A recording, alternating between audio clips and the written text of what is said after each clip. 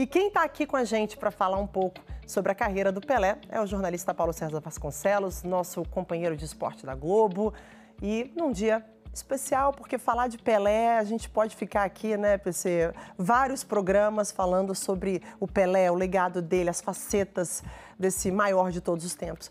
PC, falando um pouco sobre essa reportagem que a gente acompanhou agora e sobre a Copa de 70, o que, que você lembra? Bom dia e seja bem-vindo.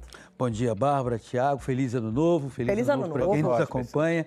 Olha, essa Copa de 70 é curioso porque ela continua muito presente na minha memória, me lembro de cada detalhe é, que foi fazendo parte da construção da seleção brasileira até a conquista do título em cima da Itália.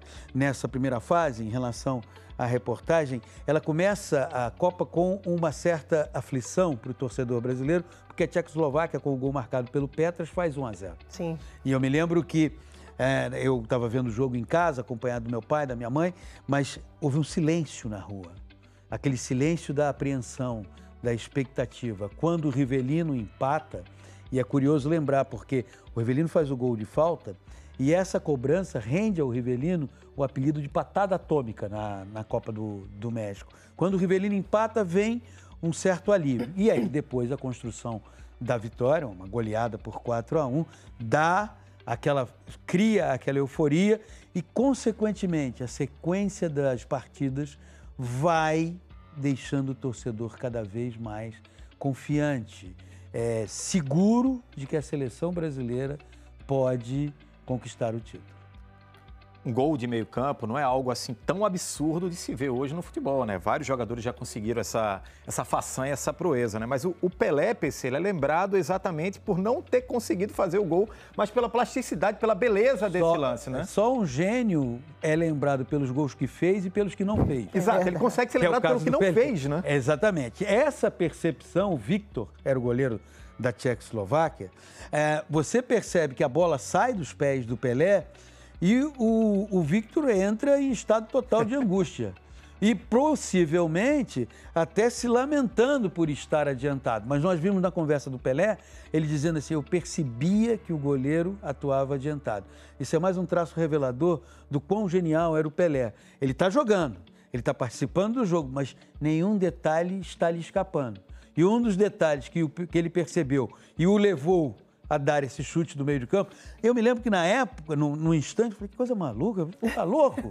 Tanta gente para tocar bola. E ele mesmo disse ali na, na reportagem que alguns jogadores da seleção gritaram com ele. Mas veio o esclarecimento. Eu percebia que o Victor atuava adiantado. Coisa de gênio. É, e a coragem de fazer isso numa Copa do Mundo, né, gente? Porque hoje em dia foi o que o Thiago falou, a gente está um pouco acostumado.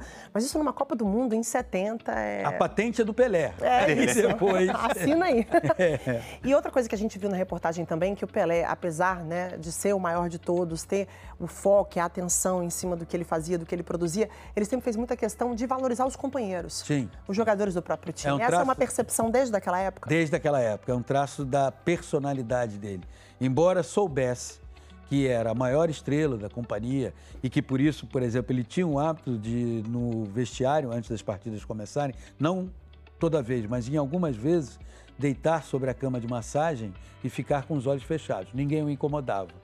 Deixa o homem dormir, parece que hoje a coisa vai ser boa.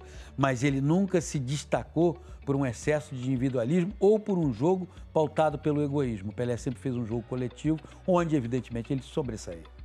Nessa primeira fase aí da Copa de 70, ele fez três gols, os três em estilos bem diferentes, né? Isso mostra como era um jogador versátil, né, repertório. né, PC, que tinha um repertório cheio de recursos. Ô, ô, Tiago, é curioso porque no jogo contra a Inglaterra, que tem aquela insinuante e objetiva jogada do Tostão, o passe que hoje foi rebatizado de assistência, que ele dá para o Jairzinho, é sensacional. E você vê que na conversa ele diz assim: Eu percebi que o zagueiro e o lateral esquerdo vieram na minha direção. Agora a gente está vendo um lançamento de Gerson.